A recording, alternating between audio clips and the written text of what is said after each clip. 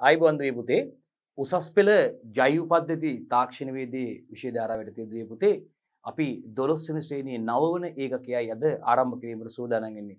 මේ වෙනුවට දුවේ පුතේ අපි දුවල පුතාලත් එක්ක සාර්ථකව උසස් පෙළ ජෛව පද්ධති තාක්ෂණවේදී විෂය ධාරාව යටතේ දුවේ පුතේ දොළොස් වෙනි ශ්‍රේණියේ පාඩම් 8ක් සම්පූර්ණයෙන්ම සාකච්ඡා කරලා ඊට අදාළ සමාලෝචන ප්‍රශ්නත් දුවල පුතාලත් එක්ක සාකච්ඡා කරලා අවසන් කරලා තියෙන දුවේ පුතේ. ඉතින් අද අපි ආරම්භ කරනවා දුවේ පුතේ දොළොස් වෙනි ශ්‍රේණියේ විශාලම ඒකකයක් විදිහට අපිට හඳුන්වන්න පුළුවන් දුවේ පුතේ විශාල වැඩි කාල කාල පරිච්ඡේද සංඛ්‍යාවක් වැය කරන්න සිදුවන ඒකකයක් විදිහට දුවේ පුතේ ඊටාම වැදගත් පාඩමක් පුතේ. විශේෂයෙන්ම උසස් පෙළ විභාගයේදී බහුවර්ණ ප්‍රශ්න ව්‍යුහගත ප්‍රශ්න සහ රචනා ප්‍රශ්න වැඩි ප්‍රමාණයක් මේ ඒකකයේ ආවරණය වන පරිදි දුවේ පුතේ ප්‍රශ්න අහලා තියෙනවා මෙතෙක් පැවතුණු විභාගවල.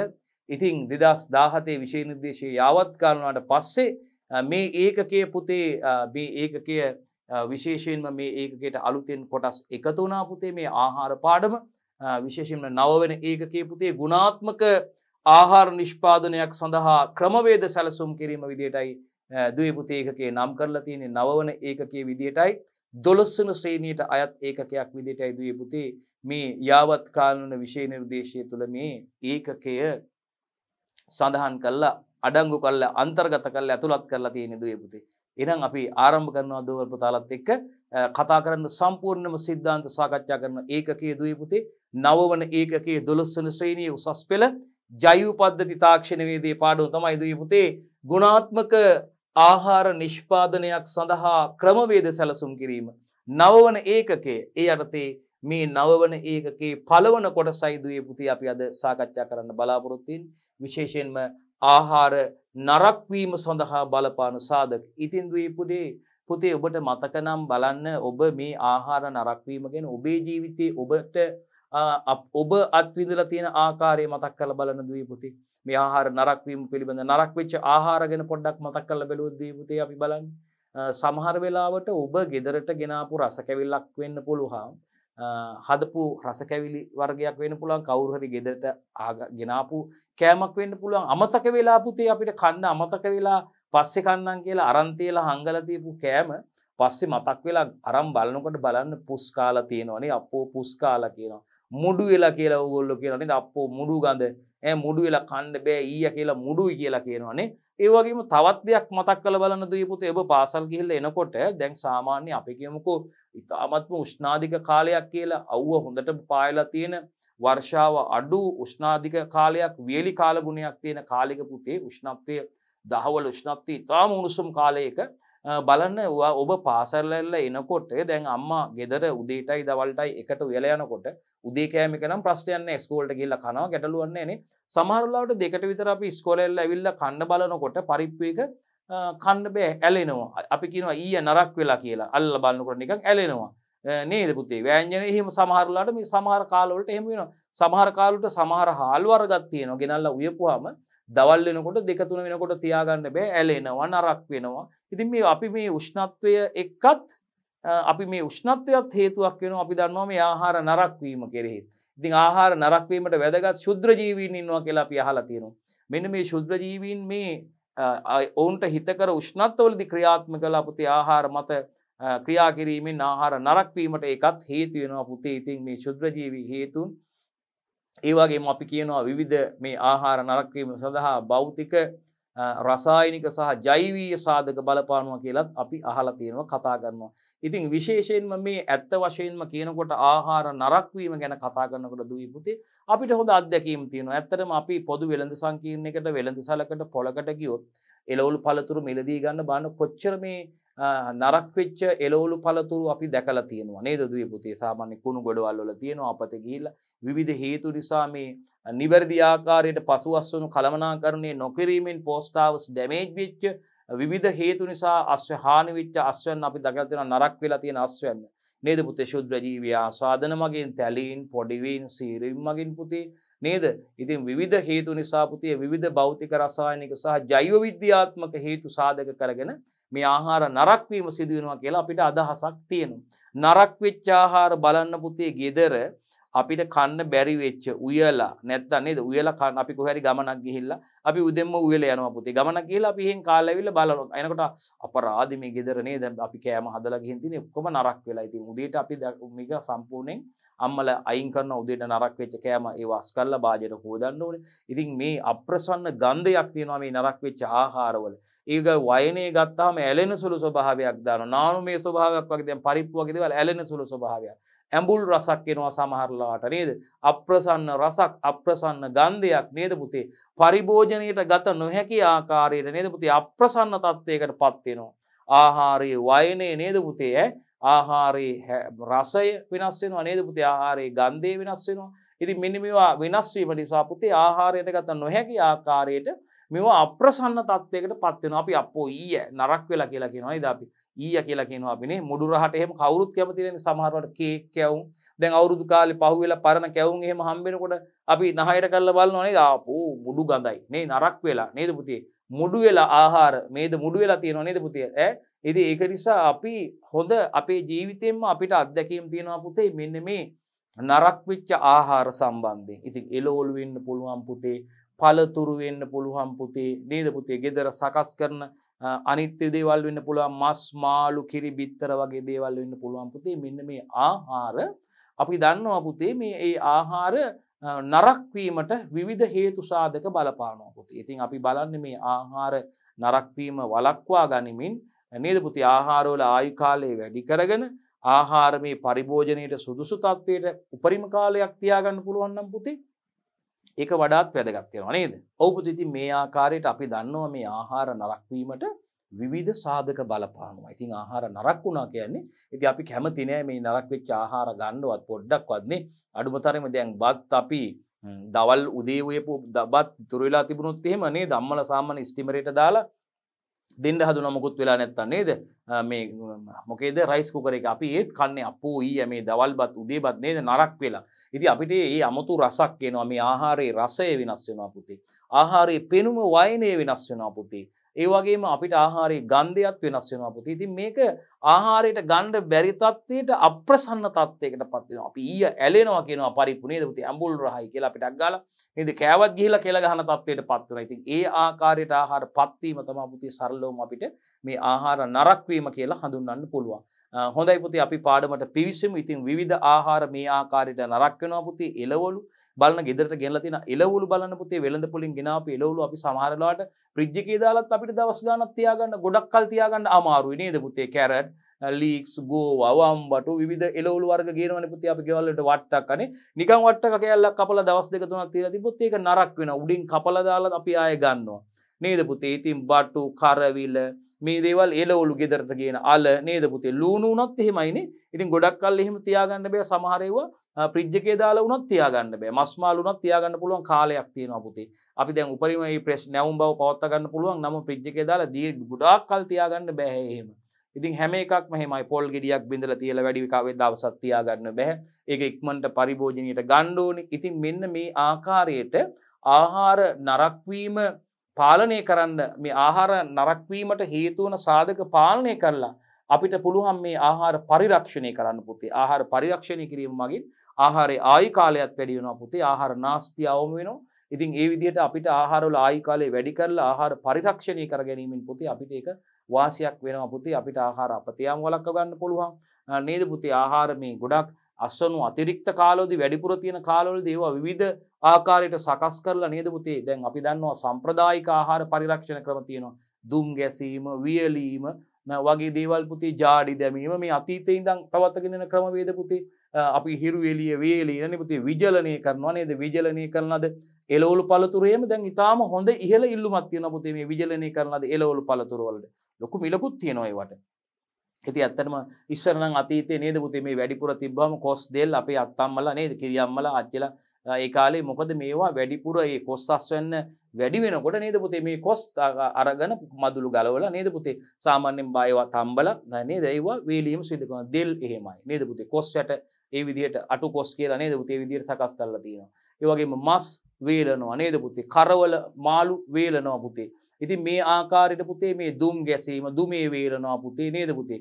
එතකොට මේ ආකාරයට පුතේ මේ පරිරක්ෂණ ක්‍රම අතීතයේ ඉඳන් භාවිතා කරලා තියෙනවා. මේ සම්ප්‍රදායික ආහාර පරිරක්ෂණ ක්‍රම වලට පුතේ අද නවීන තාක්ෂණයේ භාවිතා කරලා සිදු කරන ආහාර පරිරක්ෂණය කරම සිදු කරනම තරමට මේ ආහාර තාක්ෂණය දියුණු වෙලා තියෙනවා පුතේ. අපි දන්නවා විශේෂයෙන්ම මේ ජෛව පද්ධති තාක්ෂණයේදී විශේෂ ප්‍රධාන වගකීමක් විදිහට පුතේ මේ අනාගත ලෝකයේ හමුවේ පවතින ආහාර අර්බුදයට විසඳුම් විදිහට පුතේ අඩු ශේෂ්ත්‍රඵලයක් තුල වැඩි ඵලදාවක් ලබා ගන්න නිෂ්පාදනය වැඩි කරන්න ආහාරවල ගුණාත්මක ආහාර නිෂ්පාදනයක් සිදු කරන්න නේද පුතේ? වැඩි අස්වනු දෙන ප්‍රභේද ඇති කරලා නිෂ්පාදනය කරන්න. ඒ වගේම පරිසර තත්ත්ව පාලනය කරලා පාලිත පරිසර තත්ත්වයට බෝග වගාව මගින් පුතේ ප්‍රමාණාත්මකෝ සහ ගුණාත්මකෝ ඉහළ අස්වන්නක් ලබා ගන්න කටයුතු කරන්න මේ ජෛව පද්ධති තාක්ෂණයේදී විෂය අදාළව අපිට කටයුතු කරන්න පුළුවන් පුතින්. ඉතින් ඒ නිසා මේ ආහාර සම්බන්ධ ආහාර පනත් නීති රෙගුලාසි ආහාර අපනයනයේදී විශේෂයෙන්ම ආහාර නිෂ්පාදනයේදී මේ සිදු කරන ආයතන මගින්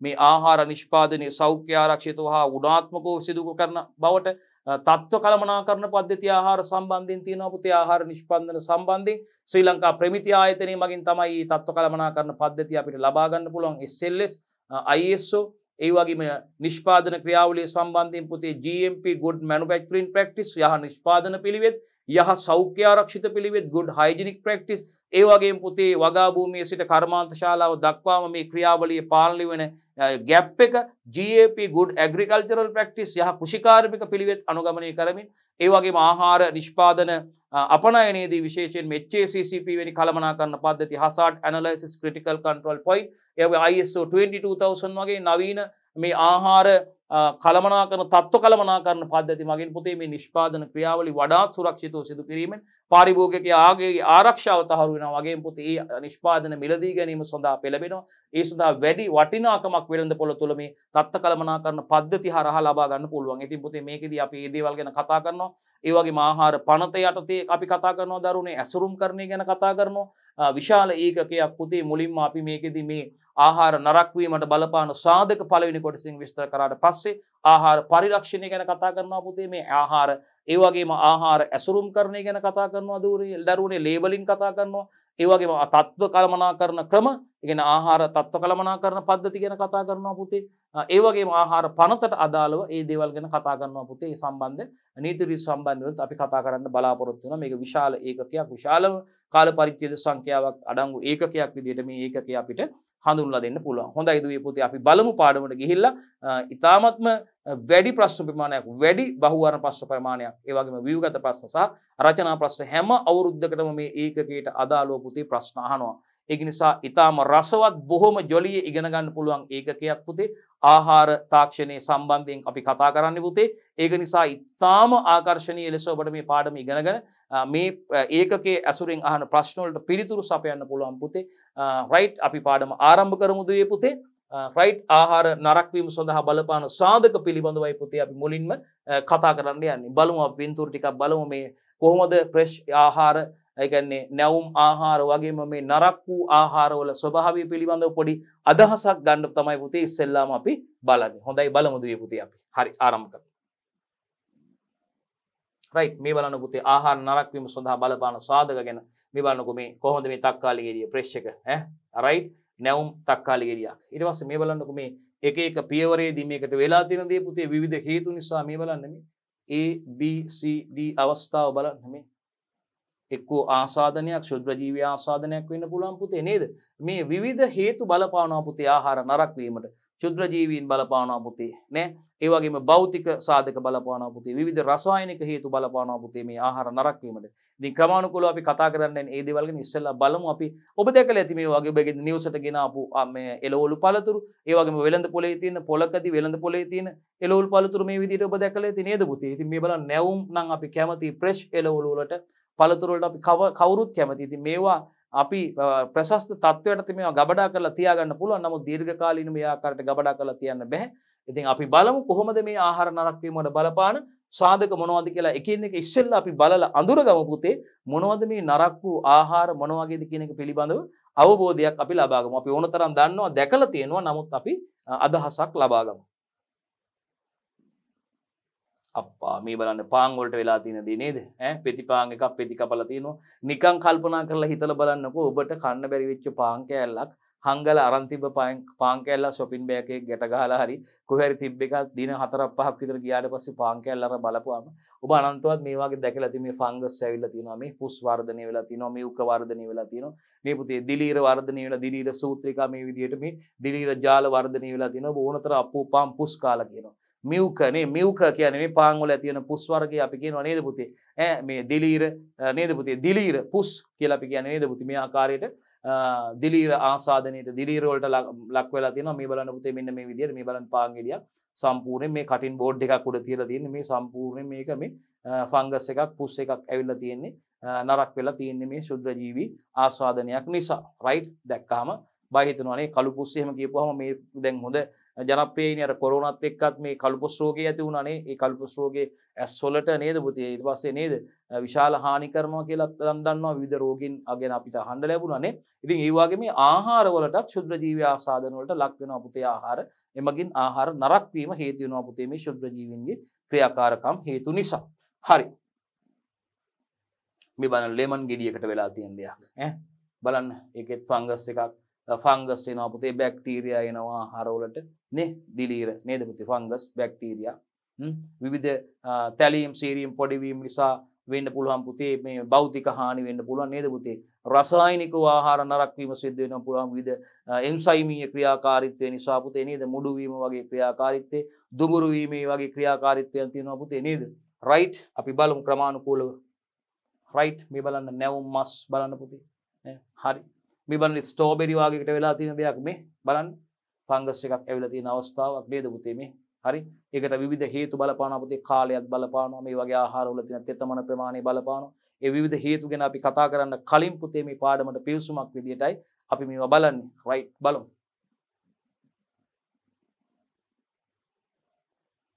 මේ බලන්න බල පුතේ. මේ මාළු තිවර්ග තියෙනවා නේ. පුතේ නැවුම් මාළු තියෙනවා.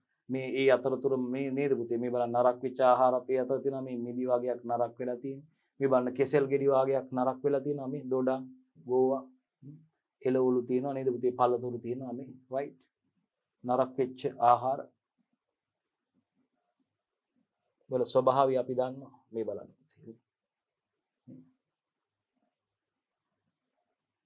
නරක් වූ ආහාර. කෙසෙල් ගෙඩි. නැවුම් කෙසෙල් ගිරි තියෙන හොඳ. කැවන්ඩිෂ් වගේ පේන්නේ නේ මේ බලන්න. පළතුරු නරක් වෙලා. මේ බලන්න මස් නරක් වෙලා තියෙන ආකාරය. බෙල් පෙපේ එකක් බලන්න ෆ්‍රෙෂ් එකකුයි. මේ බලන්නකෝ. මේ වියපත් වෙච්ච එකකුත් තියෙනවා. අපි දන්නවා එළවලු පළතුරු අස්වනු නෙළුව පසුත් ඒවා ඒ වගේ පරිවෘත්තීය ක්‍රියා සිදු වෙනවා නේද පුතේ? සබා එතුලින් නිෂ්පාදනය වෙනවා නේද පුතේ? ඒ වගේ පරිවෘත්තීය ක්‍රියා සිද්ධ වෙනවා නේද පුතේ? එළවලු පළතුරු අස්වනු නෙළුව පසුත් ඒවා ශෝෂණය කරනවා පරිවෘත්තීය ක්‍රියා සිදු වෙන ඒ සඳහා මේ ඒ වගේ සංචිත ආහාර තමයි වැය වෙන්නේ පුතේ. එතකොට මම මැලවීම සිදු වෙනවා නේ. කහ පාට වෙනවා එතුලින් නිෂ්පාදනය සිදු වෙනවා නේද පුතේ? රයිට් හරි. විවිධ හේතු බලපාන මේ වඩ මස් නරක් වෙලා තියෙනවා. ස්ට්‍රෝබෙරි බලන්නකො මේ ප්‍රෙස් ඒවාක් තියෙනවා. මේ නරක් වෙච්ච ඒවාක් තියෙනවා ෆංගස් එකක් ඇවිල්ලා. පා. ටින් එකක්. චීපුඩ් එකක් සැමන් එකක්. මේ බලන්න මේ නරක් වෙච්ච ආහාරයක් කාලා හරි මොන හරි උගුරත් එක්ක අල්ලන් ඉන්නේ. මේ බලන්නකො මේ මේ බලන්න මෙතන මේ නරක් වෙලා තියෙන මේ ෆංගස් එකක් කියලා මේවත් මේ නරක් වෙලා තියෙනවා රයිට් ටින් කරලා තියෙන ආහාරයක් මේ නරක් වෙලා දැක්කහම. බලන්න වයනේ පැහැ වර්ණේ වෙනස් වෙලා තියෙන ආකාරය මේ අප්‍රසන්න ගතියක් පෙන්වුම් කරනවානේ ආහාරය අනුභව කළා ඒක නරක් වෙච්ච කියලා දැනුණාම සමහර අයට වමන යනවා නේ. විවිධ රෝග වලට රෝගාබාධ වලට පව අපත් පාත්‍ර වෙනවා නේද පුතේ සෞඛ්‍යයට තරජනයක් නේ. නරක වූ ආහාර කියන්නේ ඇත්තටම ඔව් මරණය පව සිද්ධ වෙන්න පුළුවන් පුතේ සෞඛ්‍යයට විශාල තරජනයක්. රයිට් හරි. මේ බලන්න. පළතුරු වලට වෙලා තියෙන්නේ. රයිට් fresh food මේ you can freeze මේ fresh food. ගර්කින් තියෙන ස්ට්‍රෝබෙරි තියෙනවා මේ බලන්න ෆ්‍රිජ් එකේ මේ fresh ෆුඩ්ස් මේ ආහාර මේ බලන්න. මේ මනාව මේ ෆ්‍රීස් කරලා තියෙනවා මේ බලන්න පුතේ මේ. මේ විදිහට අපිට පුළුවන් fresh food you can freeze. මේ විදිහට අපිට ශීත කරන තුල ගබඩා කරලා තියාගන්න පුළුවන් නැවුම් එළවලු පළතුරු ආහාර. නැවුම් ආහාර පුතේ අපිට සුරක්ෂිතව ප්‍රශස්ත තත්ත්වයට ගබඩා කරලා තියාගන්න පුළුවන්. පරිභෝජයට ගන්න තෙක්. මේ බලන්නකො පුතේ මෙතන. කෝන් තියෙනවා බඩීරඟු තියෙනවා නේද පුතේ මේ? දෙලුම් තියෙනවා මේ මල් ගෝවා තියෙනවා ලීක්ස් තියෙනවා මේ ලෙමන් තියෙනවා ගෝව වර්ග තියෙනවා apple right strawberry bell pepper potato අල තියෙනවා නේද පුතේ මේ විවිධ එළවලු විශාල ප්‍රමාණයක් තියෙනවා මේ රයිට් ෆ්‍රෙෂ් එළවලු බලන්නකෝ නැවුම් නරක වෙලා නැහැ එකක්වත් නැවුම් එළවලු සහ පළතුරු නේද පුතේ දැක්කාම ආසයිනේ මේ දෙලුම් එක තියෙනවා රයිට් ලීක්ස් තියෙනවා රයිට් ගෝව මල් තියෙනවා නේද ඉතින් මෙන්න මේ ආකාරයට අපිට මේවා නැවුම්ම නැවුම් භාවය තියාගන්න පුළුවන් නම් ඒක වටිනවා පුතේ. ඉතින් ඒ සඳහා අපිට විවිධ ආහාර පරිරක්ෂණ ක්‍රම භාවිතා කරනවා පුතේ. ශීතනය, අධි ශීතනය නේද පුතේ? ඉතින් ආහාර ජීවාණුහරණය, පැස්ටරීකරණය, ඒ වගේම අපි කියනවා පැසවීමේ ක්‍රියාවල තියෙන විවිධ පරිරක්ෂණ ක්‍රම භාවිතා කරනවා. මේ ආහාරවල ආයු කාලය වැඩි කරගන්න ආහාර කල් තබා ගැනීම සඳහා. නේද පුතේ විවිධ ද්‍රව්‍ය එකතු කරනවා මේ ආහාරවලට. අපි විශේෂයෙන්ම ආහාර ආකලන ගැනත් කතා කරනවා මේකෙදී. රයිට් හරි. හොඳයි පුතේ මේ නැවුම් ආහාර එළවලු පළතුරු ටිකක් තියෙන පුතේ දකින තියෙන්නේ. ඔබ දැකලා ඇති. ඔබ ගෙදරට මිලදී ගන්නකොට නැවුම් තත්ත්වයේ තියෙනවා මිලදී ගන්න. ඉක්මනින් ඒවා ප්‍රයෝජනට ගන්න පුතේ. ගෙදරට අවශ්‍ය ප්‍රමාණයට මිලදී ගන්න ගෙදර ඉන්න අයගේ ප්‍රමාණයට වැඩිපුර ගේන්න එපා. ඒතකොට තමයි නාස්ති වෙන්නේ පුතේ. එතකොට ෆ්‍රිජ් එක දාලා තිබ්බත් නාස්ති වෙනවා. අවශ්‍ය ප්‍රමාණයට ගෙනාපුවාම පරිභෝජනය කරා නැවුම් පිට පරිභෝජනය කරා පුතේ. මසුත් තේමයි මාළු කිරි බිත්තර එළවලු පළතුරුත් නැවුම්ම අනුභව කරන්න පුතේ කිසි ප්‍රශ්නයක් නැහැ. ඒතකොට රෝග වලට පාත්‍ර වෙන්නේ නැහැ. ඔබේ නිරෝගී සෞඛ්‍ය සම්පන්න ජීවිතයක් ඔබට ඒකෙන් පවත්වා ගන්න හැකියාව ලැබෙනවා දුවේ පුතේ. රයිට් හරි.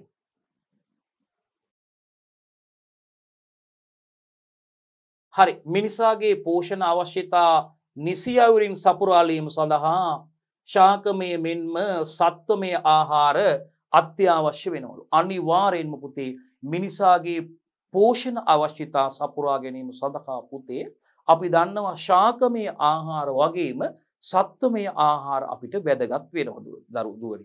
දරුවනි කාබෝ හයිඩ්‍රේට ප්‍රෝටීන විටමින කනිජලවන මේද ලිපිඩ මේ හැම දෙයක්ම පුතේ ප්‍රශස්ත ප්‍රමාණවලින් අපේ ශරීරයේ පවත්වා ගැනීම සඳහා දේහේ පවත්වා ගැනීම සඳහා මේ අවයව පද්ධති තුල ක්‍රියාකාරීත්වයේ ශක්තිය නිපදවීමේ ක්‍රියාවලිය සඳහා අපිට මෙන්න මේ ආහාර වර්ග අවශ්‍යයි පුතේ. ඉතින් මෙන්න මේ ආහාර වර්ග සපයා ගැනීමේදී අපිට ශාකමය ආහාර වගේම පුතේ මේ ප්‍රෝටීන් අවශ්‍යතා සපුරා ගැනීම සඳහා සත්වමය ආහාරත් අපිට මේ අපේ ආහාර වලට එකතු කර ගැනීමට හැකියාව තියෙනවා පුතේ අවශ්‍ය වෙනවා පුතේ. ඒකයි කියන්නේ මිනිසාගේ පෝෂණ අවශ්‍යතාවය නියමාකාරයෙන් නිසියවින් සම්පූර්ණ කර ගැනීම සඳහා පුතේ ශාකමය මෙන්ම සත්වමය ආහාරත් අපිට ලබා ගැනීම අත්‍යවශ්‍ය වෙනවා. ඉතින් පුතේ සීමිත ජනගහනය හා අසීමිත කෘසිපාරිසරික සම්පත් ප්‍රමාණය හා අන්තර්ක්‍රියා මගින් ගැටලෝකින් තොරව තම ආහාර අවශ්‍යතා සපුරා ගැනීමට මානවයාට හැකිවී අන්න බලන්නක පුතේ අතීතයේ සීමිත ජනගහනයක් නිපුතේ හිටි ඒ වගේම මේ හොඳට ඉඩකඩ තිබ්බ පරිසරය තුළ තමන්ට අවශ්‍ය කරන ආහාර බෝග වගාවන් සඳහා ඒවා වගා කරලා තම ආහාර අවශ්‍යතාවයන් සපුරා ගැනීමේ අසීමිත අවස්ථාවක් අතීතයේ මිනිසාට තිබුණ. නමුත් පුතේ සීග්‍ර ජනගහන වර්ධනය එක්ක පුතේ මේ ඉඩකඩ ප්‍රමාණවත්ම නොමැතිවීම ඉඩකඩ අඩුවීමත් එක්ක පුතේ මිනිසා අනාගත ලෝකයේ හමුවේ පුතේ ආහාර අර්බුදයකට මුහුණ දෙමින් සිටින අදුවේ පුතේ ඇත්තටම විශේෂයෙන්ම කියන්න ඕනේ. අතීතයේදී මෙවැනි ගැටලුවක් තිබුණ නැහැ පුතේ. අසීමිත ඉඩකඩ ප්‍රමාණය තිබ භූමි භාවිතා කරන්න පුළුවන්කම තිබ්බ පුතේ. ඒවා තුළ මිනිසා තමන්ට අවශ්‍ය කරන ශාකමය භෝග වගාවන් පුතේ ආහාර සඳහා ඒ වගේම පුතේ වගා කරගත්තා. ඒ වගේම සත්ව පාලනය මගින් පුතේ තමන්ට අවශ්‍ය කරන කිරි මස් බිත්තර වගේ සම්පත් පසු සම්පතුත් පුතේ ලබා ගැනීමට මිනිසාට හැකියාවක් තිබුණා. නමුත් පුතේ කාලයත් එක්ක සීග්‍ර ජනගහන වර්ධනයත් එක්ක පුතේ වනාන්තර එලිපෙහෙලි වුණා. මේ වගා කරන්න තියෙන බිම් පුතේ මිනිස් පරිභෝජනය නිසා විවිධ මානව අවශ්‍යතා සඳහා ඒවා යොදා ගැනීම නිසා පුතේ වගා කිරීම සඳහා තියෙන ඉඩකඩ සීමිත වුණා පුතේ. ඒකත් එක්ක පුතේ මේ ආහාර සඳහා තියෙන ඉල්ලුම වැඩි වෙලා තියෙන්නේ පුතේ. රයිට්? ඒක නිසා මතක තියාගන්න සීමිත ජනගහනය අතීතේ මේ අසීමිත කුසිපාරිසරික සම්පත් ප්‍රමාණයක් නිසා පුතේ අන්තර්ක්‍රියා මගින් අන්තර්ක්‍රියා මගින් පුතේ ගැටලෝකින් තොරව තම ආහාර අවශ්‍යතා සපුරා ගැනීමට මානවයාට අතීතයේ හැකි වුණ පුතේ. නමුත් පුතේ බලන්න සීග්‍රයෙන් වැඩිවන ජනගහනය හමුවේ මෙකී කෘෂිපාරිසරික සම්පත් සීමාකාරී සාධකයක් බවට මේ වනකොට පත්වෙලා තියෙනවා. මං හිතන්නේ කියන දේ පිළිබඳව දයාබර දුල පුතාලට ඉතාම හොඳ අවබෝධයක් තියෙනවා පුතේ. රයිට් අපි යමු ඉදිරියට.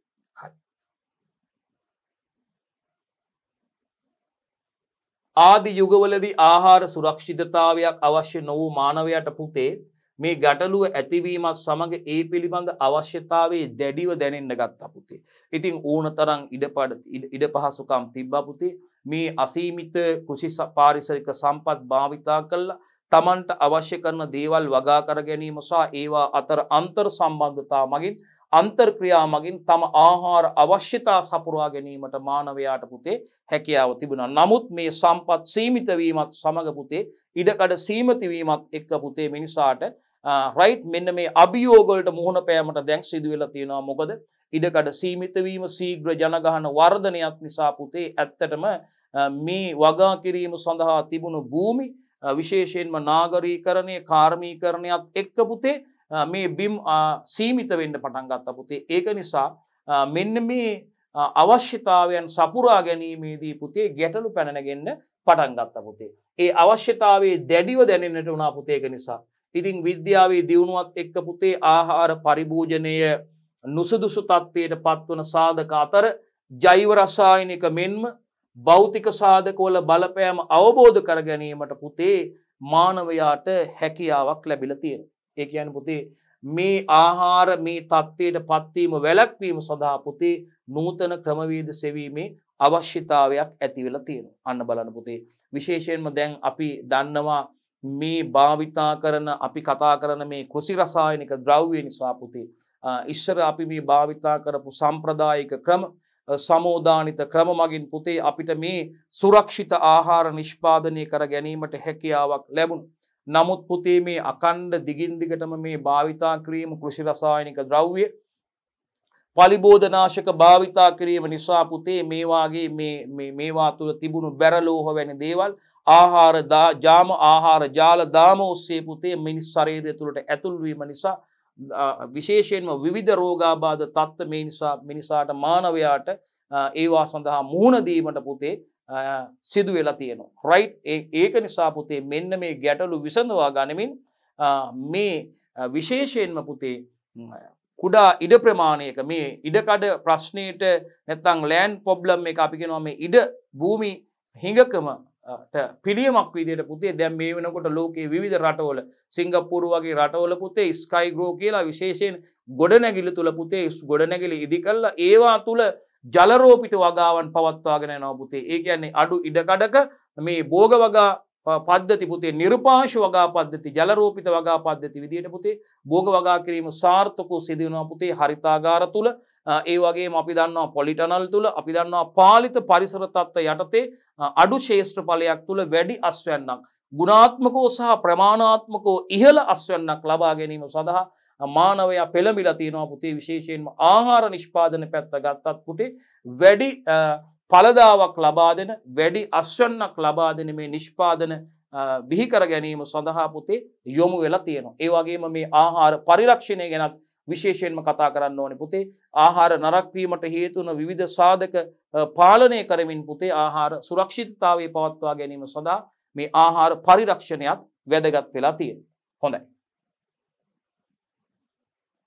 ඒ වගේම මේක ප්‍රතිඵලයක් විදියට පුතේ ආහාරයේ ජලය ඉවත් කිරීම සඳහා අතීතයේ ඉඳන් පුතේ මේ සිදු කරපු ක්‍රියාවලි අපි දන්නවා පැණි ලුණු වැනි සාන්ද්‍ර ද්‍රාවණවල ආහාර බහාලීම පුතේ දුම් ගැසීම වැනි උපක්‍රම මගින් මේ ආහාර වැඩි කාලයක් පරිභෝජනයේ තත්ත්වයේ පවත්වා ගැනීමට මානවයා පුරුදු වුණා පුතේ. මේ ආහාරවල තියෙන ජලය ඉවත් කරගන්න අපි දන්නවා සාන්ද්‍ර ද්‍රාවණවලට දානවා පුතේ. ලුණු ද්‍රාවණවල පැණි ද්‍රාවණවල දානවා පුතේ. එතකොට ආහාරයේ තියෙන ජලයේ බාහිර ආශ්‍රිතය මගින් පුතේ මේ ද්‍රාවණයට ගමන් කිරීම නිසා ආහාරයේ පරිරක්ෂණය වෙනවා පුතේ. ඒ වගේම පුතේ මේ ආහාරවල තියෙන ජලය ඉවත් කර ගැනීම සඳහා දුම් ගැසීම, වියලීම වගේ ක්‍රම භාවිතා කරලා මේ ආහාර වැඩි කාලයක් ගබඩා කරලා තියලා පරිභෝජනයට ගැනීමට අතීතයේ ඉඳන් මිනිසා මේ විවිධ සම්ප්‍රදායික ආහාර පරිරක්ෂණ ක්‍රමවල ඒ සඳහා ඒ ආහාර පරිරක්ෂණ මූල ධර්ම භාවිතා කරමින් පුතේ මේ ආහාර කල් තබා ගනමින් තම අවශ්‍යතා සපුරා ගැනීමට මිනිසා පෙළබුණ. රයිට් ඒ වගේම දියුණු වූ තාක්ෂණය උපයෝගී කරගෙන නවීන තාක්ෂණික ආහාර පරිරක්ෂණ ක්‍රම පුතේ. හරිද? ආහාර පරිරක්ෂණ උපක්‍රම විදියට නවීන ලෝකයේ තුල වඩාත් පුළුල් ලෙස භාවිතා කරන ලබනවා පුතේ. එදිනෙදා ජීවිතයේදී ලබන අත්දැකීම් මත පුතේ මේ උපක්‍රම දිනුන් දිනෙන් දින දියුණු වෙමින් පවතිනවා. ඒකත් මතක තියාගන්න ඕනේ දුවල පුතාලා මේ හැඳින්වීමේදී. රයිට් අපි යනවා ආහාර නරක වීමට. හරි හැඳින්වීමක් කරේ පුතේ මේ අතීතයේ සිට මේ ආහාර තාක්ෂණය විකාශනය වෙච්ච ආකාරය පුතේ සම්ප්‍රදායික ආහාර පරිරක්ෂණ ක්‍රමවල ඉඳලා අපි යනවා. නවීන තාක්ෂණික ආහාර පරිරක්ෂණ ක්‍රමවලට පුතේ ආහාර ඇසුරුම් ක්‍රමවලට අපි යනවා දුවේ පුතේ ඉස්සරහට කතා කරන්න මේ ඒකකේ යටතේ. හොඳයි දුවේ පුතේ අපි දැන් ආරම්භ කරමු. මෙන්න පුතේ බලන්න ආහාර නරක් වීමටයි අපි යන්නේ. මෙන්න පුතේ අපේ මාතෘකාවට අපි එනවා. අපි රතු පාටින්ම ගමු එක නේද? රයිට් කවුද පුතේ? අපේ මාතෘකාව මෙතැන් සිට ආහාර නරක්වීම රයිට් මෙන්න මෙයයි අපේ මාතෘකාව. බලමු. අපිට හොඳ අත්දැකීමක් තියෙනවා අපේ ජීවිතයේ දරුවන්ට. නේද බුදුපිතේ මේ ආහාර නරක්වීම ගැන. පාඩම ආරම්භයේදීත් අපි කතා කරා. බලමු අපි.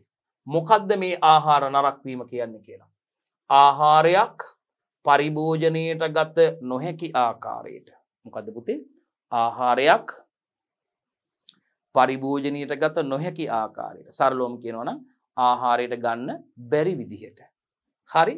මොකක්ද අප්‍රසන්න තත්ත්වයකට පත්වීම හෝ අන්න අප්‍රසන්න තත්ත්වයකට පත්වන්න අයට කිට්ටු කරන්න බෑ. කටට ගත්තොත් අපා අපව් කෙල ගහලා දානු ආහාරයට ගත නොහැකි ආකාරයට නැතම් පරිභෝජනයට ගත නොහැකි ආකාරයට පුතේ අප්‍රසන්න තත්ත්වයකට පත්වීම හෝ සුරක්ෂිත බව නැතිවී යාම. අන්න පුතේ ආහාරයේ තියෙන සුරක්ෂිත බව නැති වෙලා යනවා. නරක්වීම තුලින් සුරක්ෂිත බව නැතිවී යාම නිසා පුතේ ආහාරයක සුරක්ෂිත බව නැති වෙලා ගියොත් ඊට පස්සේ ඇති වෙන ගැටලුව මොකද්ද? සෞඛ්‍යයට තර්ජනයක් ඇති වෙනවා. ආ ඒ ආහාර පරිභෝජනය කරන පුද්ගලයන්ගේ සෞඛ්‍ය ගැටලුව ඇති වෙනවා සෞඛ්‍යයට තර්ජනයක් වෙනවා පුතේ ඒක එහෙනම් පුතේ සුරක්ෂිත බව නැති වී යාම නිසා සෞඛ්‍යයට හානි කරවිය හැකි තත්ත්වයකට අන්න බලන්න පුතේ පරිභෝජනය කරන මිනිසාගේ සෞඛ්‍යයට හානි කරවිය හැකි තත්ත්වයකට පුතේ ආහාරයක් පත්වීම තමයි ආහාර නරක්වීම කියලා. පුතේ ආහාර නරක්වීම සඳහා ඔබ මෙන්න මේ අර්ථ දැක්වීම නිවැරදිව ලියන්න ඕනේ පුතේ. එතකොට තමයි ඔබට සියවලම ලකුණු හම්බෙන්නේ. අර්ථ දැක්වීමක් ව්‍යුහගත මාදලී ප්‍රශ්නයක් ඇහුවොත් පුතේ ඔබට ඒ සම්පූර්ණ ලකුණු ලබා ගැනීම සඳහා පුතේ අනිවාර්යෙන්ම සම්පූර්ණ ලකුණු ලබා ගන්න නම් අර්ථ දැක්වීම සඳහා මේ අර්ථ දැක්වීම මේ සඳහන් කරලා තියෙන අයුරුන් ඒ ලෙසටම ඒ ආකාරයටම කිසිදු අකුරක් වෙනස් නොකර සඳහන් කරන්න ඕන. ආහාර නරක්වීම ආහාර නරක්වීමට බලපාන සාධක පැහැදිලි කරන්න කියලා රචනා ප්‍රශ්නයක් ඇහුවොත් ඔබ අනිවාර්යයෙන්ම ආහාර නරක්වීම හැඳින්වීම කරන්න ඕනේ පුතේ ලකුණු 20ක් හැඳින්වීමට දෙනවා.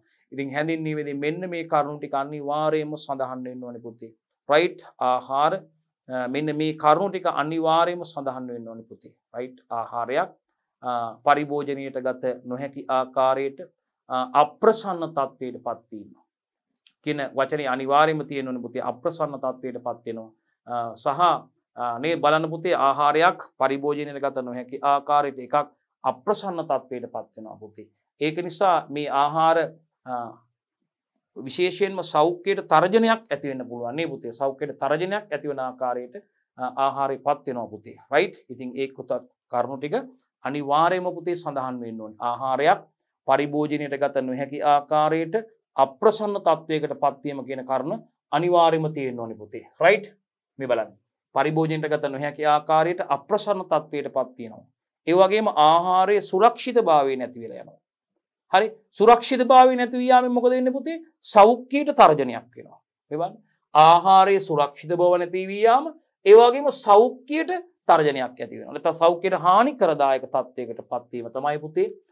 හරි හානිකර තත්වයකට ආහාරයක් පත්වීම තමයි පුතේ ආහාර නරක්වීම කියලා කියන්නේ මේ අර්ථ දැක්වීම මේ ආකාරයටම ඔබ සඳහන් කරන්න ඕනේ. ඒ වගේම ආහාර නරක්වීම සරල ක්‍රියාවක ප්‍රතිඵලයක් නොවන අතර එය සංකීර්ණ ක්‍රියාවලියක ප්‍රතිඵලයක් පුතේ. මේ ආහාර නරක්වීම කියන ක්‍රියාවලිය පුතේ හොඳට මතක තියාගන්න. මේක සරල ක්‍රියාවක ප්‍රතිඵලයක් නෙවෙයි පුතේ ඇත්ත වශයෙන්ම කියනවා නම් පුතේ මේ ආහාර නරක්වීම සංකීර්ණ ක්‍රියාවලියක ප්‍රතිඵලයක් විදියට සිදුවන ක්‍රියාවක්. හරි. මං හිතන්නේ දුල පුතාලට ඊ타මත්ම පැහැදිලි. අපි යනවා ඉදිරියට. හරි. මෙන්න පුතේ ආහාර නරක්වීම කෙරෙහි බලපාන මූලික සාධක ටික. රයිට්. බලන්න ඔබ දන්නවද කියලා? බලන්න පුතේ ඔබ දැනටමත් දන්නවද කියලා ආහාර නරක්වීම කෙරෙහි බලපාන මූලික සාධක ටික? බලන්න පුතේ මොනවද මේ ආහාර නරක්වීමට බලපාන මූලික සාධක? රයිට්. බලමු අපි හයිලයිට් කරගමු. මෙන්න පුතේ ආහාර නරක්වීමට බලපාන මූලික සාධක භෞතික සාධක. බාහිර සාධක. භෞතිකව වෙන්න පුළුවන් දේවල් පුතේ. ආහාරවලට පුතේ දූවිලි වගේ දේවල් එකතු වෙන්න පුළුවන්. නේද පුතේ? ඒ වගේම ආහාර තැලීම් ආහාරවලට එළවලු පළතුරු වගේ දේවල් නම් ආහාර තැලීම් සීරීම් පොඩිවීම් දෙන්න පුළුවන් පුතේ. විවිධ ද්‍රව්‍ය ආහාරවලට දූවිලි වගේ දේවල් එකතු වෙන්න පුළුවන් ආහාරවලට භෞතිකව සිදුවෙන්න පුළුවන් හානිය ආහාරවලට පුතේ. රයිට්? ඒ වගේම රසායනික සාධක දෙක රසායනික සාධක බලපානවා පුතේ. විවිධ රසායනික හේතු බලපානවා පුතේ. pH වගේ වගේ දේවල්. රසායනික සාධක pH වගේ වෙනස් වීම නිසා ආහාරයේ ආම්ලිකතාවයේ වෙනස් වීම නිසා පුතේ pH වගේ අඩු වැඩි වීම නිසා හේතු වෙන්න පුළුවන් පුතේ. භෞතික සාධක විදිහට නේද පුතේ උෂ්ණත්වය වගේ භෞතික සාධක හඳුන්වන්න පුළුවන් පුතේ අපිට. නේද? උෂ්ණත්වයත් භෞතික සාධකයක්. ආහාර නරක වීමට ඊට පස්සේ පුතේ අපිට තුන්වෙනි ආකාරයේ විදිහට ජෛවීය සාධක සඳහන් කරන්න පුළුවන් පුතේ. මේ ආහාර නරක වීමට බලපාන ජෛවීය සාධක පුතේ. අපි දන්නවා ශුද්‍ර ජීවීන් මහා ජීවීන් මේ ආහාර නරක වීමට හේතු වෙනවා දරුවනේ නේද? රොඩෙන්සියාවන් වගේ රොඩෙන්ටියාවන් වගේ නේද පුතේ? ලියා කන සත්තු මීයෝ වගේ කට්ටිය නේද පුතේ? ඒගොල්ලෝගේ බලපෑම මහා ජීවීන් විදිහට මේ හානි වෙනවා නේද? කෘමි සත්තු වගේනොත් මේ ආහාර වලට හානි සිදු වෙනවා. වගේම ශුද්‍ර ජීවීන් වගේනොත් පුතේ ආහාර වලට හානි සිදු වෙනවා විවිධ ආහාර නරක වීම කෙරෙහි බලපාන ශුද්ධ ජීවී කාණ්ඩ ගැනත් අපි ඉස්සරහට මේකදී ඉගෙන ගන්නවා විශේෂයෙන්ම මේ හේතු සාධක මොනවද කියන එක සම්පූර්ණයෙන්ම අපි විස්තරාත්මකව කතා කරන්න බලාපොරොත්තු වෙනවා. එන පුතේ සරලවම කියනවා නම් ආහාර නරක වීමට බලපාන ප්‍රධාන සාධක ටික නම් කරන්න කිව්වොත් පුතේ අපිට භෞතික සාධක, රසායනික සාධක සහ ජෛවීය සාධක සඳහන් කරන්න පුළුවන්. right. මෙන්න පුතේ ආහාර නරක්වීම කෙරෙහි බලපාන මූලික සාධක ටිකයි අපි කතා කරේ පුතේ. මෙන්න මේ ජෛවීය ඒ වගේම රසායනික හා භෞතිකව සිදුවන අහිතකර ක්‍රියාකාරකම් වලින් පුතේ ආහාර නරක්වීම සිදුවන අතර එහිදී ආහාරය ජෛව රසායනික මෙන්ම භෞතිකව වෙනස් වෙනවා. අන්න බලන්නක පුතේ සිදුවීම. ජෛවීය රසායනික සහ භෞතික සිදුවන භෞතිකව සිදුවන අහිතකර ක්‍රියාකාරකම් වලින් තමයි පුතේ ආහාර නරක්වීම සිදුවෙන්නේ. ඒකෙදී ආහාරයේ ජෛව රසායනික මෙන්ම භෞතිකව වෙනස් වෙනවා. පුතේ බාහිරින් ආහාරයේ හැඩය ආහාරයේ ආහාරයේ වයනේ ආහාරයේ රසය ආහාරයේ පෙනුම වෙනස් වෙනවා. බයෝලොජිකලි ජීව විද්‍යාත්මක ආහාරයේ වෙනස් වීම වෙනස්කම් වලට ලක් වෙනවා. ඒ වගේම රසායනික වෙනස්කම් වලට ලක් වෙනවා පුතේ ආහාරය මෙන්න මේ හේතු නිසා. රයිට් ඒක විශේෂයෙන්ම දුල පුතාලා මතක තියාගන්න ඕනේ. රයිට් අපි ඉදිරියට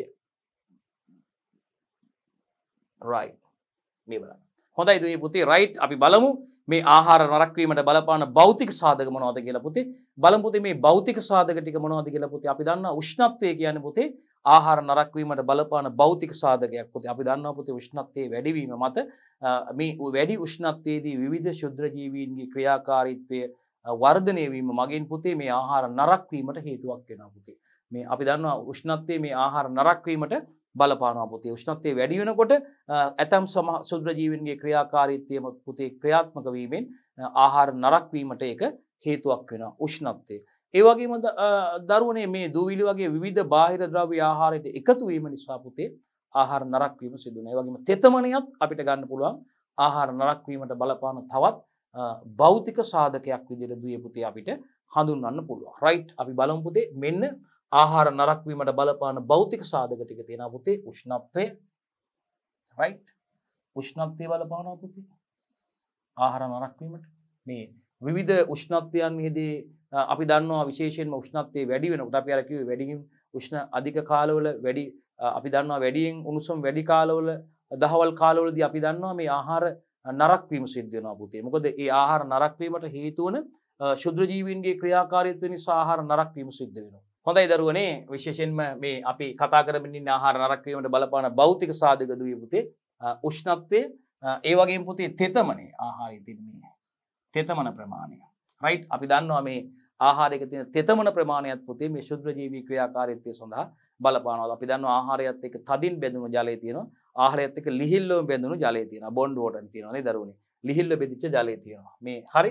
ඒ වගේම පුතේ ආහාරයට වෙන්න පුළුවන් තවත් මේ භෞතික සාධකයක් තමයි පුතේ මේ යාන්ත්‍රික හානි සිදුවෙන්න පුළුවන් ආහාරවලට. තැලීම්, සීරීම්, පොඩිවීම මේ යාන්ත්‍රික හානි සිදුවෙන්න පුළුවන් පුතේ. ඒ නිසා ආහාර නරක වීමට ඒක හේතු සාධකයක් වෙන්න පුළුවන්.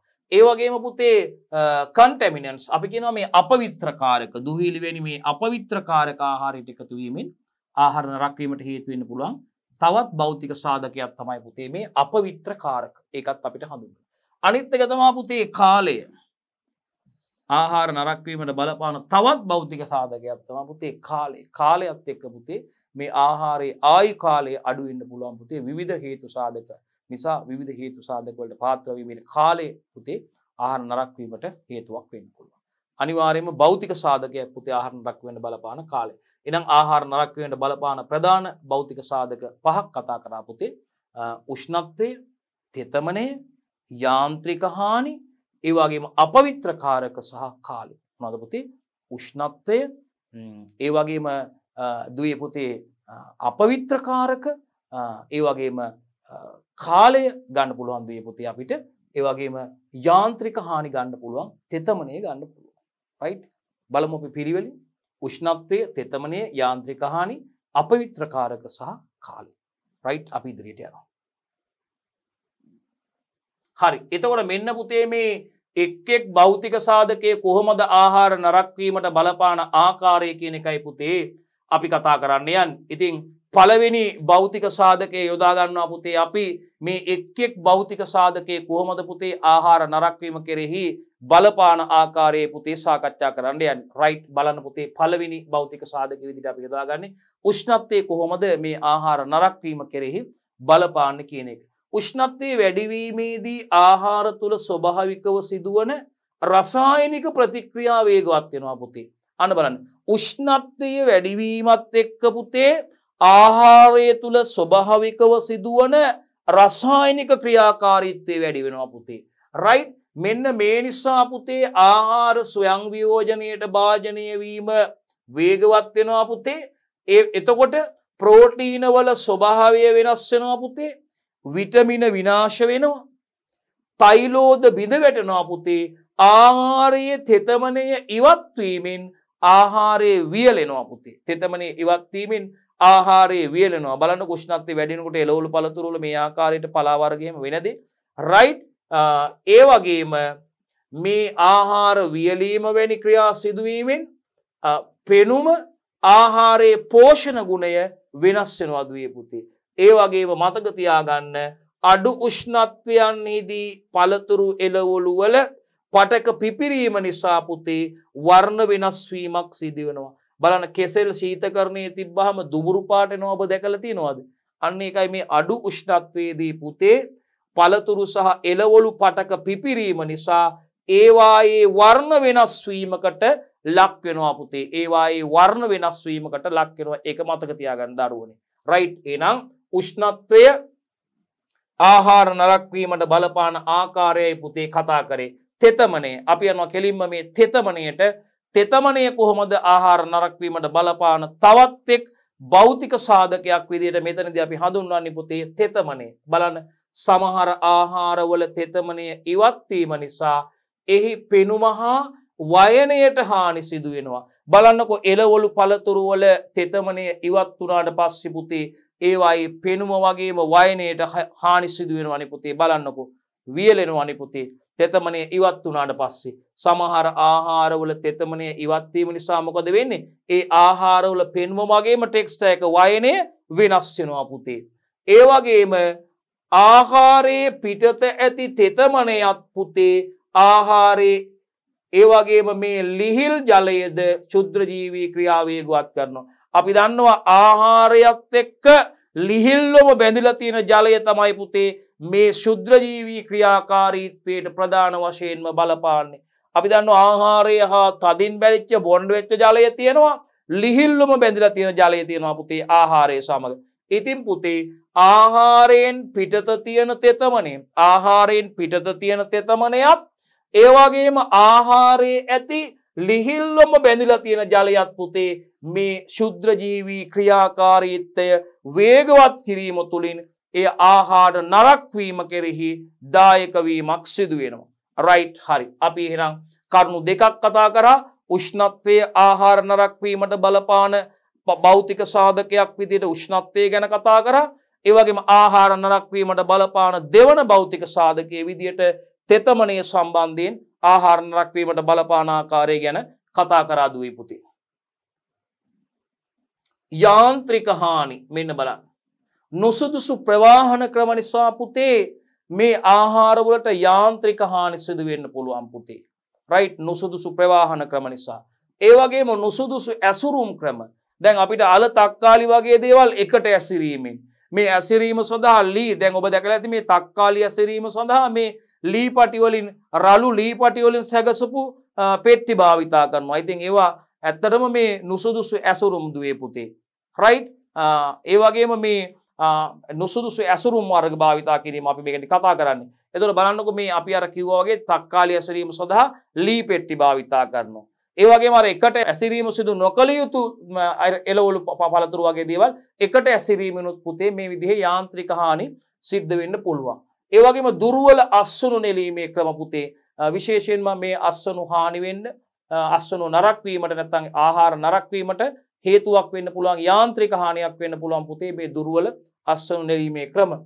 ඒවගේම දුරුවල ගබඩා තත්ත පුතේ මේ අස්සනු ගබඩා කිරීමේදී විශේෂයෙන්ම නියමිත ප්‍රසස්ස තත්ත්ව භාවිතා නොකොට අස්වනු ගබඩා කිරීම හේතුවෙන් අස්වනුවලට යාන්ත්‍රික හානි සිද්ධ වෙන්න පුළුවන්. ඒ වගේම අසම්පූර්ණ නිෂ්පාදන ක්‍රියාවලි මගනුත් පුතේ යාන්ත්‍රික හානි සිද්ධ වෙන පුළුවන්. මේ ආකාරයට මෙන්න මේ හේතු මගින් නුසුදුසු ප්‍රවාහන ක්‍රම මගින් ඒ වගේම නුසුදුසු ඇසුරුම් ක්‍රම මගින් ඒ වගේම දුර්වල අස්වනු නෙලීමේ ක්‍රම මගින් ඒ වගේම දුර්වල ගබනා ක්‍රම මගින් ඒවගේම පුතේ අසම්පූර්ණ නිෂ්පාදන ක්‍රියාවලි මගින් පුතේ හරි ආහාරයේ මතුපිටින් යාන්ත්‍රික වහානි සිදුවීම නිසා මොකද වෙන්නේ? ඒ හරහා ආහාරයට ශුද්‍රජීවීන් ඇතුල්වෙන්න පුළුවන් මේ යාන්ත්‍රික වහානි හරහා පුතේ ඇතැම්මිට වෙනත් රසායනික ප්‍රතික්‍රියා ආරම්භයෙන් ආහාර භාවිතයට නුසුදුසු තත්වයට පත්වෙන්න පුළුවන් බලන්න පුතේ යාම්ත්‍රික හානි විදියට අංක එක නුසුදුසු ප්‍රවාහන ක්‍රම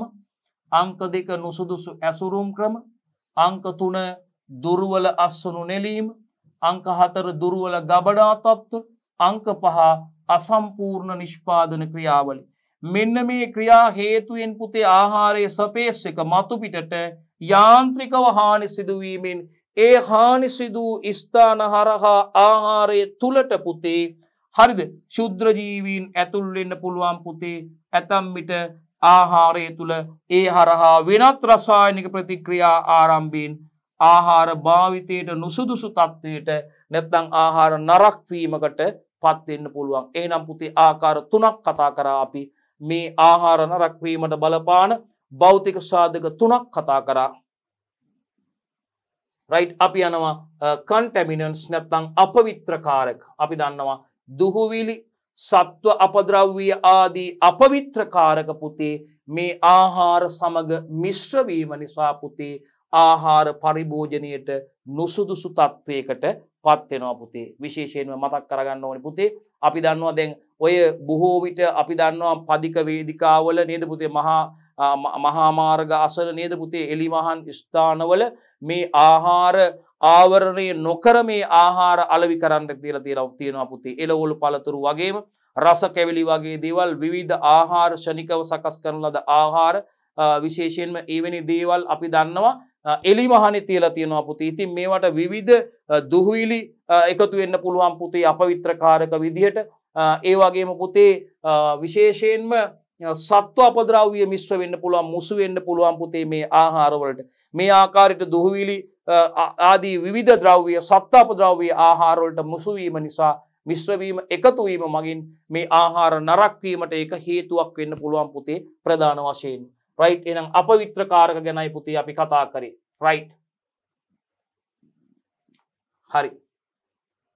අපි ඒ කතා කරේ පුතේ විශේෂයෙන්ම කොහොමද භෞතික සාධක කිහිපයක් ආහාර නරක්වීමට බලපාන ආකාරගනය කතා කරේ පුතේ අපි දැන් කතා කරන්න යන්නේ විශේෂයෙන්ම ආහාර නරක්වීමට බලපාන රසායනික සාධක සම්බන්ධයෙන් අපි කතා කරන්න පුතේ විශේෂයෙන්ම ආහාර නරක්වීමට බලපාන රසායනික සාධකයි දැන් කතා කරන්න යන්න භෞතික සාධක ගැන කතා කරා පුතේ අපි දැන් ආහාර නරක්වීමට බලපාන රසායනික සාධක ගැන කතා කරමු. මෙන්න පුතේ අපි මුලින්ම කියපු කෙනා pH අගය. හරි. ආහාරයේ pH අගේ පුතේ උදාසීන වූ විට. ඒ කියන්නේ 6.8ත් 7.5ත් අතර බොහෝ ශුද්ධජීවීගේ වර්ධනය වැඩි වෙනවා.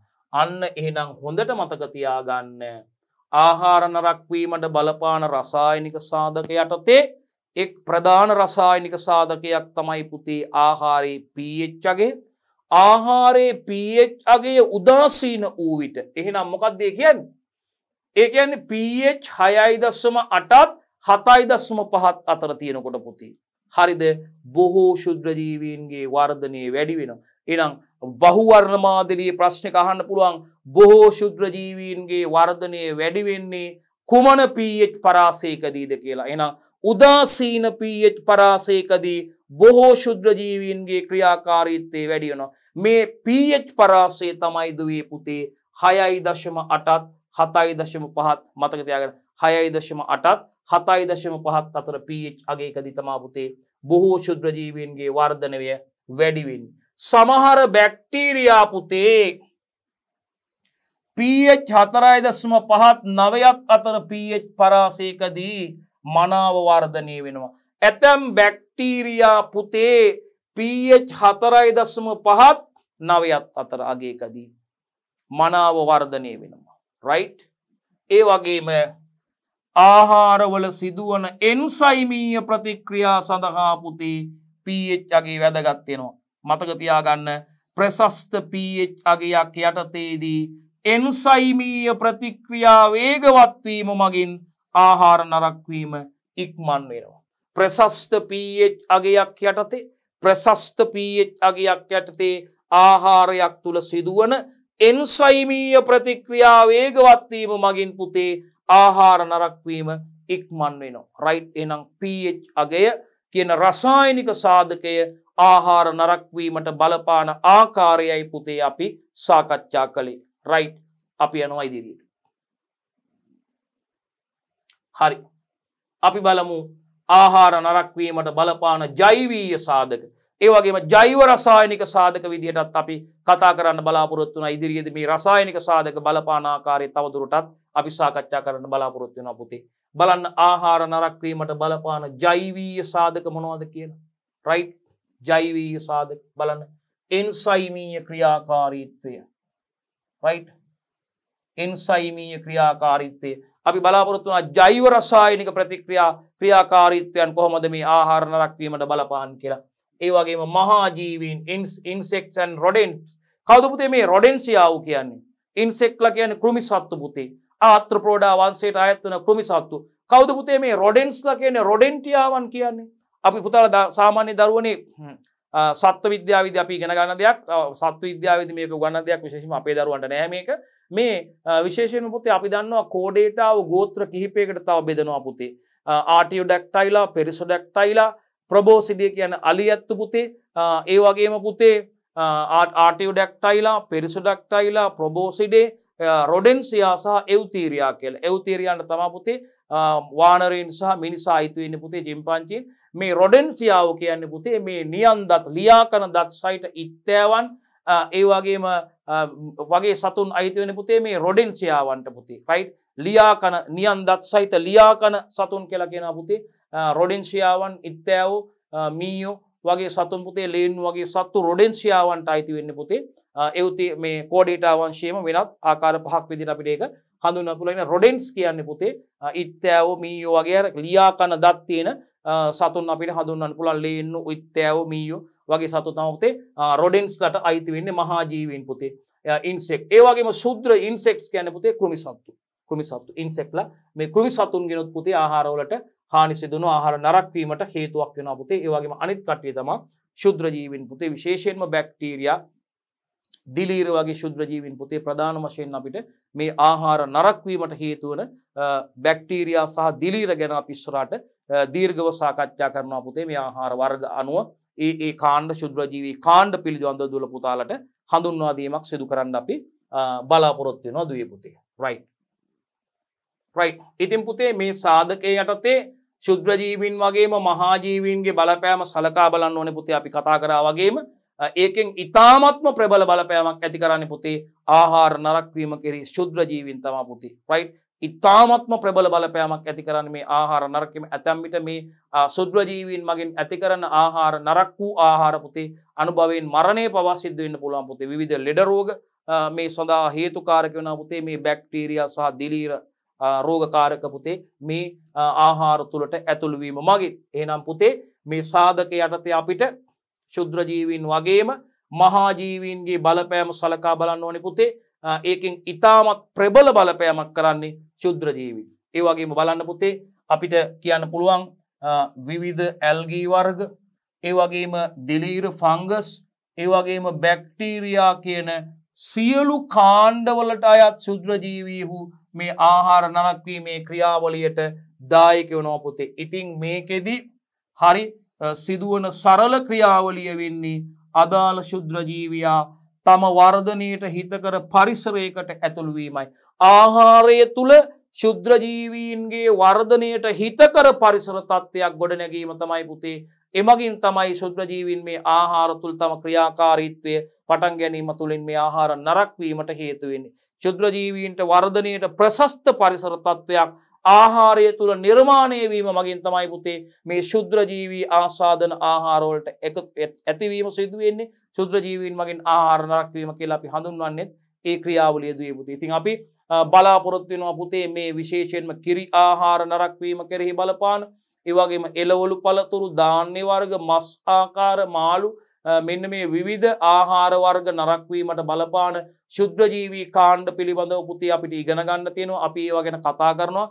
විශේෂයෙන්ම විභාගට ඒවා අනිවාර්යයෙන්ම අහනවා පුතේ. ඒ වගේම ජෛව රසායනික ක්‍රියාවලි සම්බන්ධයෙන් පුතේ අපි කතා කරනවා. මේ දුඹුරුවීමේ ප්‍රතික්‍රියා මෙලාන්ට් ප්‍රතික්‍රියාව නේදරුණේ කැරමලීකරණය ඒ වගේම අපි මුඩුවීම ගැන කතා කරනවා පුතේ. ආහාර ස්වයං ඔක්සිකරණය ගැන කතා කරනවා ආහාර මුඩුවීම ජලවෙච්චේදක මුඩවීම ගැන කතා කරනවා පුතේ ඒ ආකාරයට අපි මෙන්න මේ ජෛව රසායනික ක්‍රියාවලි ආහාර නරක්වීමට බලපාන ආකාරය පිළිබඳ පුතේ කතා කරන්න බලාපොරොත්තු වෙනවා මේ ඉදිරි කොටස් වලදි මේ ඒකකය තුළ ඇතුළත. හොඳයි. ඒ වගේම පුතේ එම හිතකර පරිසර තත්ත්වයට තේ ආහාරය තුළ ගුණනය වන. ශුද්‍රජීවීන් විසින් ආහාරයේ පෝෂණ ගුණය අඩු කිරීම වගේම පුතේ මේ ශුද්‍රජීවීන්ගේ විශස්්‍රාව ආහාරයට එකතු කිරීම සිදු කරනු ලබනු. ඒ වගේම මෙවැනි පරිසර තත්ත්ව සැලකීමේදී පුතේ මේ සාධක විශේෂයෙන්ම බාහිර සහ අභ්‍යම්තර ලෙස වෙන් කරලා දක්වන්න පුළුවන් පුතේ රයි් ඒකත් මතක තියාග. ඊළඟට අපි බලමු ආහාර නරක්වීම සඳහා එන්සයිමීය ක්‍රියාකාරීත්තේ බලපෑම බලම්පුතේ. ආහාර නරක්වීම කෙරීමේ එන්සයිමීය ක්‍රියාකාරීත්තේ බලපෑම ගැනයි දුවේ පුතේ අපි කතා කරන්න යන්න බලමු. ආහාරවල එන්සයිමීය ක්‍රියාකාරීත්වය නිසා පුතේ ආහාර විවිධ රසායනික ප්‍රතික්‍රියාවලට භාජනය වෙනවා පුතේ. එමගින් අපි දන්නවා ආහාරයේ රසය සුවඳ හා වර්ණයේ වෙනස්කම් ඇතියෙනවා පුතේ මෙන්න මේ නිසා එන්සයිම ජෛව රසායනික සාධක ලෙස අපිට විස්තර කරන්න පුළුවන්. අන්න ඒකයි එන්සයිම ජෛව රසායනික සාධක විදියට අපිට විස්තර කරන්න පුළුවන්ගෙන. මොකක්ද ආහාරවල එන්සයිමීය ක්‍රියාකාරීත්වය නිසා පුතේ ආහාර විවිධ රසායනික ප්‍රතික්‍රියාවලට භාජනය වෙනවා. මෙන්න මේ විවිධ රසායනික ප්‍රතික්‍රියාවලට භාජනය වීමේ ප්‍රතිඵලයක් විදියට පුතේ ආහාරයේ රසය වෙනස් වෙනවා පුතේ ආහාරයේ සුවඳ වෙනස් වෙනවා පුතේ ඒ වගේම ආහාරයේ වර්ණයේ වෙනස්කම් ඇතිවෙනවා පුතේ මෙන්න මේ හේතුව නිසා තමයි පුතේ අපි හඳුන්වන්නේ එන්සයිම ජෛව රසායනික සාධක යටතේ විස්තර කිරීමකට අපි සිදු කරන්න බලාපොරොත්තු වෙන්නේ. හොඳයි පුතේ එහෙනම් අපි බලාපොරොත්තු වෙනවා ඊළඟ කොටසෙන් මේ ආහාර නරක් වීමට අදාළ මේ ජෛව රසායනික ප්‍රතික්‍රියා ගැන කතා කරන්න බලාපොරොත්තු වුණා පුතේ. ඒ වගේම මේ ජෛවීය ආහාර අපවිත් විශේෂයෙන්ම ජෛවීය ආහාර නරක් වීමට බලපාන ජෛවීය සාධක යටතේ විවිධ ශුද්‍රජීවී කාණ්ඩවල විවිධ ආහාර නරක් වීමට බලපාන විශේෂයෙන්ම කිරි ආශ්‍රිත ආහාර මස් මාළු ආශ්‍රිත ආහාර එළවලු පළතුරු ධාන්‍ය වගේ ආහාර නරක්වීම සඳහා හේතුකාරක වන ශුද්‍රජීවී කාණ්ඩ බැක්ටීරයා දිලීර කාණ්ඩ ගැන කතා කරන්න බලාපොරොත්තු නදුවේ පුතේ. ඒ වගේම රසායනික සාධක යටතේ බලපෑම යටතේ පුතේ මේ ජෛව රසායනික ප්‍රතික්‍රියා කොහොමද බලපාන්නේ පුතේ? විශේෂයෙන්ම දුඹුරු වීමේ ප්‍රතික්‍රියා බලපෑම ගැන එන්සයිමීය දුඹුරු වීම ගැන පුතේ අපිට කතා කරන්න තියෙනවා. මේ දුඹුරු වීමේ ප්‍රතික්‍රියා යටතේ අපි කැරමලීකරණය මෙලාට් ප්‍රතික්‍රියාව ගැන කතා වෙනවා පුතේ. විශේෂයෙන්ම මේ එලවලු විශේෂයෙන්ම පළතුරු වගේ දේවල් කැපීමේදී මේ දුඹුරුවීමේ සංකීර්ණ හදනවා පුතේ මේ දුඹුරු මේ සංකීර්ණ සකස් කිරීම ගැන සෑදීම ගැන කතා කරනවා පුතේ මේ විශේෂයිත ද්‍රව්‍ය සෑදීම ගැනත් අපි කතා කරනවා. ඉතින් මේ ඒකකේ පළවෙනි කොටස යටතේ අපි බලාපොරොත්තු වෙනවා ඉතිරි කොටස් ටික ඉදිරි ඊළඟ කොටසෙන් දුල පුතාලත් එක්ක අපි සාකච්ඡා කරන්න බලාපොරොත්තු වෙනවා දුවේ පුතේ.